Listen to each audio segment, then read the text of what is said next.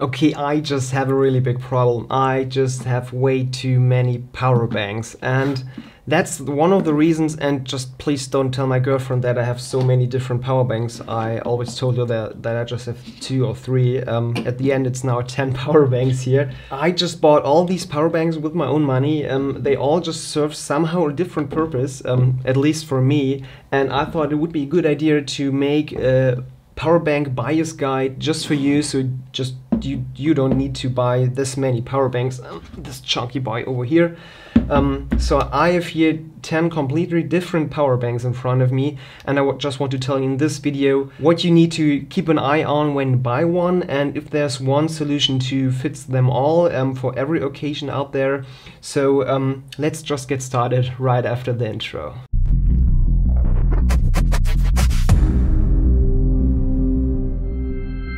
Here we go and welcome to the Idea of Technology. My name is Michael and today we're just trying to figure out which power bank is best for you and what you need to keep an eye on when just choosing the one power bank for your needs and your occasions out there. And I just want to give you some help and just want you not to spend so many money on so many different power banks like I did in the past so um, let's just get started. Okay, so the first and most important reason to buy a power bank is obviously to charge your devices when you're on the go. And this is just probably the very first decision you need to make, how often or which device you want to charge. And that means just take a look at the capacity you just need for your um, specific needs at the end. Um, this just can ranks from this such small uh, Tau power bank here. I will also do a little giveaway at the end of the video, so just stay tuned and at the end I will just explain how you can just get one of these super tiny, super convenient power banks because they have just integrated cables, so you just don't need to carry cable Every other one of these here in front of me just need to have additional cables, um, not this one. So we can just take a look at super tiny solutions like these here, just with 1400 milliamps, super tiny, up to the more common ones, the 5000 range here, um, one super cheap Chinese solution from Inope or somehow it's pronounced like that, as well as Aukey, um, super common, these round ones. Um, I have already opened, I've already opened this one um, for another video, so if you want to see this, also get subscribed. It will be really funny, but um, this is now just really old and I needed um, the battery inside to um, do a little other project on this channel. Furthermore, you will also just take a look at the 10,000 milliamp hour range. This is also just really popular. I will just talk about this later in more detail. I have just one solution from Zendure um, as well as a solution from Anker, also just really popular. So Aukey and Anker are just the most common um, power bank producers out there. And normally if you choose the power bank from Anker or Aukey, you just doesn't do anything wrong.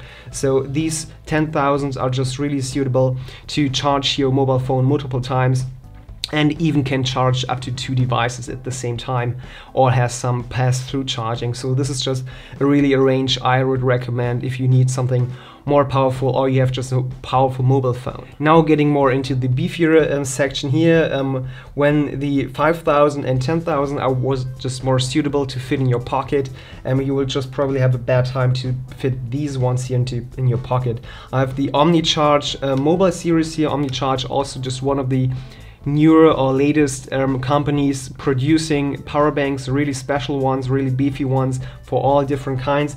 I was choosing this OmniCharge solution here, um, the mobile one because it just powers USB Type-C and Quick Charge 3 as well as wireless charging on the top. And now we're talking about 46 watt hours, which is just half the size you can get on your plane. So we are maxing out at 100 watt hours. Most of the notebooks does it like MacBook Pro 16 inch and all the others um, out there producing power banks or notebooks are also just fitting to the TSA 100 watt hour limit. Um, so this is just basically half the size of it. And now we're just getting into the really beefy battery territory like um, this one from Zendure. I really, um, this was just one of the first um, I got with USB Type-C power delivery with up to 45 watt hours. And this just boosts 20,100 milliamp hours and nearly 75 watt hours. So this is just really beefy and even 50% larger than the OmniCharge version. And at the same size and capacity, I've also my super old Anker here. This just boosts uh, three USB Type A, so no Type C, and also just USB and micro USB charging. So this just takes an eternity to get fully charged. I think seven or eight hours, because this is also equipped with um, 77 watt hours, so nearly the same size as the Zendure version here. And that brings us perfectly to the maximum capacity you can just get and you just take an ion if you really want to because all these others here are just normally made for charging your mobile phone multiple times or charging your tablets or what you have out there or except the Zendure one. This is also just capable of putting out power delivery with 45 watts. So this is a little exception, but all the others are more likely to range to have just lower um, power output. Um, the OmniCharge I will just talk about in a minute. But now we're getting into the range of 100 watt battery capacity. So the maximum you can carry on a plane and the maximum you probably just want because these two here just power just everything you need with USB Type-C or even with an AC port. So taking a look at the um, Zendure Power Tank Pro Tank, I don't know. This is currently also funding with a newer version from Zendure, uh, so they just make really awesome products. You can see I've also just um, a couple of their batteries already, so I really like the, the brand. It's just also just a newer brand than compared to Aukey or Anker, but they're just doing really awesome and crowdfunding a lot of stuff, so you can get the very first models really, really cheap. At the moment, uh, a newer version of this battery just also just funded on, I think it's on Kickstarter again, so you can just look it up. I would just also put a link down in the video description. Special about this one, um, it boosts, um, as I mentioned, the 99.9 watt hours and is capable of delivering 100 watt power delivery out and in. That means you can charge this up roughly one, one and a half hours, so super, super fast if you have a fast charger. Um, I also made a video about the Hyperjuice charger. It's a 100 watt power delivery charger. You can look it up here if you want to. On the other side, it also just boosts two USB Type-Cs, one with 100 watts, watts, one with 60 watts, and just another two USB Type-As with 15 and 18 watts. So you just really get everything in this somehow even st just still small form factor, but um, the maximum battery capacity if you really want to power your um, MacBook Pro or every other USB powered um, notebook out there, this is just really a way to go. And if this is not really enough for you, you really just want to take a look at solutions like from this Roamproof here or just OmniCharge was pretty much one of the first brands out there. They just delivered products. Um, this is just really special because this is just all made out of metal, um, super sturdy, um, also drop proof, waterproof. And this is just really for someone who lives outdoors and just want to have power every time. And you get some LEDs on the front, which is just super awesome, as well as a little solar panel on the back. So even you can just charge it. It just puts out 500 milliamps so it's not that high and you really have a bad time charging this complete device just with solar power. But maybe you have a bigger solar powered charger or just stick it um, into your wall uh, with this on this side with USB type C and just charge it you have just two USB type A's each with 12 watts, just standard watts, um, 5 volts, 2.4 amps, as well as 45 watt hour power delivery. So the same as the Zendure, but the really special one about this one here is on this side. I put it up here in the uh, in, to the camera. You really have an AC port. That means this one can put out 100 watts with this AC port if you really drain it, it's just dead after one hour. But um, here you have a chance to really put out the 100 watts with AC. If you have devices that are not suitable for USB Type-C power delivery, that could be the case. And um, really just need power on the go for everything. So this is just the way to go if it just needs to be big, sturdy and really heavy. On the other side, like I already mentioned, um, you really just need to focus on the capacity you really need. Like want to charge your mobile phone just halfway up, you just go for the one, or just want to have a full charge, you go for more like 500 milliamp hour batteries. You can have a full charge and a little bit of um, um, uh, juice left there and you more likely want to go a couple of charges um, so for one day two day or full, for a full weekend you more likely go for 10,000 milliamp hours. And if you want to also charge more devices at the same time as well as tablets they have probably just a bigger battery just more likely go for something that has um, somehow in the range of 20,000 milliamp hours battery. So this is just really good suit. Um, if you just pick one of these just keep in mind um, how fast this can charge but this is just the next topic. And if you want to really max it out 100 watt hours and the complete capacity of I think it's 27,000 milliamp hours um, this is just the maximum you can carry on the plane and you just normally get. And when I haven't just mentioned it before um, you will just get all the products down in the video description. I will just put down all the links. Um, I fear and hopefully they're all just available. Um, not each of them probably, but um, you will find all the links and the products down in the video description. And that brings us just perfectly to the second pretty important part is not only um, the form factor and the size and the capacity, but also just the ports. You really need to think about what kind of port you really need. Um, what I would totally avoid is the fact that you have a power bank with only micro USB input. For example, the Anker one here is a perfect example um, that just have the ability to only get charged with, with micro USB and the Tau one over here with the docking station also. All the other ones here in front of me are also just able to get charged with USB Type-C. For example, like this NOP here, um, they have just two ports, micro USB as well as USB Type-C. Or for example, the um, one here as well, they have just two um, abilities to get charged. And I really want to tell you that you should just keep an eye on, always just go for USB Type-C. And this is just made of two reasons. Reason number one, it's just the more simple and way more easy uh, connector. You, you can just um, put it in whatever direction you want to. And the second part is it's just gonna be the standard um, for charging. And USB Type-C just enables um, the ability to power, use power delivery. I also made a video about power delivery if you want to check it up here. And this just ranges from okay we have input of just here with my Aukey um, up to uh, 12 watts. This is just the standard charging capa uh, capability um, up to Zendure and Anker, they just boosting up to 18 watts so this is just the same speed. Your iPhone could just get charged at max capacity.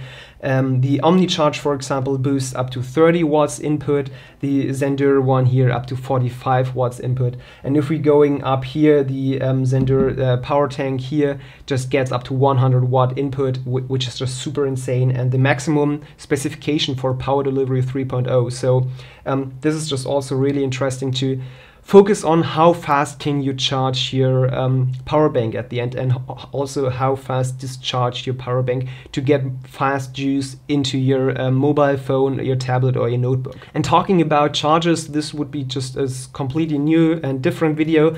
I will probably do this in the future, so if you want to see it, just leave a comment down below and just tell me if you're really interested into it. And you will also just see over there, I just put a few of my charges with di different specifications because um, this was just a video for, for another day. But just keep an eye on, if you have a power bank, you also just need to focus on the suitable charger that has the right um, capability to charge your device as well as also focus on the cables because um, even though your charger and your power bank is just suitable for power delivery 3.0 maybe your cable is just too old and you just need to focus and on a new cable and just buy it. That brings us now perfectly to the last part of this video so which power banks should you get at the end this heavily depends on your use case and what you want to do with it, but I can always just recommend if you go for Anker or Aukey and even Zendure, you can just probably don't do anything wrong. Just please avoid the super cheap Chinese solution you can get out there, even the Sanopi here. They are just really budget friendly, but please invest in a couple of more dollars to buy a decent power bank because this can be at the end just also safety crucial and I just don't want the, your power bank to explode in your backpack or in your pocket. So always just stick to the bigger brands. This is just also the best and easiest advice. On the other side, I will just always probably pick two power banks if I have the budget. I will always just go for a super small, light one that has super high density and a lot of capability to charge my smartphone. If I'm on the go, like the Zendure or the Anker one, bo both are boasting power delivery with up to 18 watts. So these are just super awesome picks I really like for just on the go and just charging one device two times or three times super easy and if you have the budget I will just also go for a bigger and beefier one that can also just charge your uh, notebook if you're into it so I'm just a digital nomad and I will always love to have at least the ability that this is in my backpack and I know okay my Surface is now dead or my MacBook and I can completely recharge the complete battery of my notebook again to have another uh, couple of hours uh, of runtime. If you have the budget, go for a big one and as well for the smaller one. But if you only have just um, budget for one single power bank, I would probably pick the OmniCharge mobile series here in the middle because I like the form factor, the design. OmniCharge is also just really reliable. You have USB Type-C input with 30 watts input, so you can really fast charge this um, 46 watt hours battery as well as you get USB Type-C output of up to 60 watts. So this is also just able to power your um, USB Type-C um, notebook at the end, not with a full speed, so you just really need to see how fast this can get, but this is at least able to power my Surface Pro 7 with full speed, which is just super amazing. This is, it's a complete charge of one um, Surface Pro 7 and a half charge of a, a MacBook Pro 16 inch at the end, but um, I like the design as well as you can just easily throw your um, Qi charging enabled uh, smartphone on here and just use it um, as a wireless charger as well as you have just quick charge 3.0 at the end with USB type A. And this was just probably be the pick. If I only can choose one power bank here and I need it every day I would go for this um, OmniCharge solution here. So this was just basically my advice on what kind of power bank should you pick um, from the really big ones for a couple of hundreds of dollars over here up to the super super cheap ones on the other side and all just really reliable. I have no problem with any of them so they're just still alive and having a really good um, battery at the end. So I would pick any of these. I have no too many and I hope my girlfriend don't see this video and now we're coming to the giveaway. So maybe you already saw it, I also made a video about the Tau chargers here, at least I made an unboxing, you can also just check it out over here. So um, I have this Tau here in white and the black version I'm using for myself. And this is just my, my review version here. And I also got a green version. So I would like to give away this green version down here and I would like to know from you down in the comment section why you really need a power bank. So um, just let me know um, who wants to get this power bank at the end, just leave a comment and I will just pick randomly one winner and uh, we'll get in contact with them. So if you really want to get this little uh, power bank here and just have it stick somewhere like this and use it on your keychain or something, just let me know in the comment section. I would be really amazed and let's see what idea you're coming up with. So if you dislike this video, you know what to do, but if you liked it, hit like down there, get subscribed and enable the notifications with the bell icon so you won't miss any future video of the idea of technology. And I just want to say thank you very much for watching, have a great day, bye.